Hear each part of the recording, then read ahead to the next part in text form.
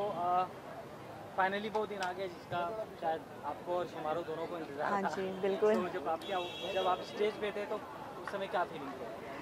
Obviously ये अ, कहते ना फ़र्स्ट आर ऑलवेज स्पेशल तो ये वो पहली अवार्ड रिसीविंग की फीलिंग थी। तो ये बहुत ही ज़्यादा मेरे लिए यादगार है आगे के टाइम के लिए भी। अ, आगे जितना भी बढ़ूँ लेकिन जो पहली चीज़ होती है वो तो सबसे ज़्यादा ख़ास होती है। तो ऑब्वियसली इसी जज्बे से आगे बढ़ूँगी।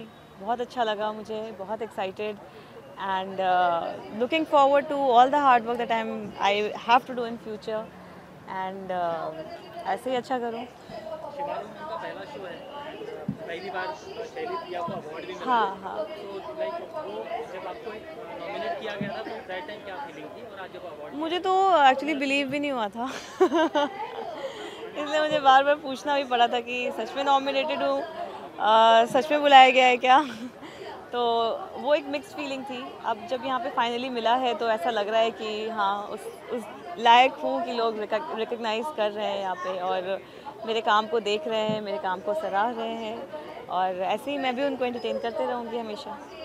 जब आप स्टेज पे थे दैट टाइम क्या क्या माइंड में था जब कर रहे थे तो आपके माइंड में क्या चल रहा था? वो होता है ना कि जब तक अवार्ड नहीं मिला है तब तक एक वो लगता है पैल्पिटेशन होते रहती है तो एक वही फीलिंग थी बट थोड़े टाइम के बाद जब मिला जब अवार्ड को फाइनली हाथ में पकड़ लिया तब लगा कि अच्छा इट फील्स गुड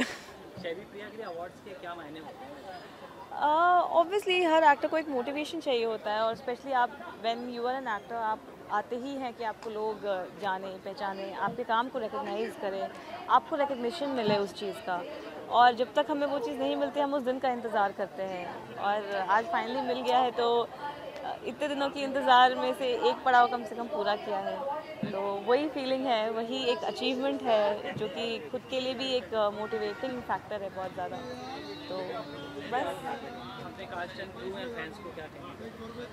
ऑब्वियसली उनको भी मैं कंग्रेचुलेशंस बोलूँगी क्योंकि ये मेरी अकेले की मेहनत नहीं है ये उनकी भी मेहनत है। और अगर वो नहीं होते साथ में तो शायद हम इतने आगे मिलकर आगे नहीं बढ़ पाते। तो मेरे साथ साथ उनको भी मैं कंग्रेचुलेशंस कहूँगी कि हमारे शो को इतना रिकगनाइज़ किया जा रहा है इतना प्यार दिया जा रहा है। और हम ऐसे ही मेहनत करते रहेंगे और ऑडियंस को प्यार देते रहेंगे।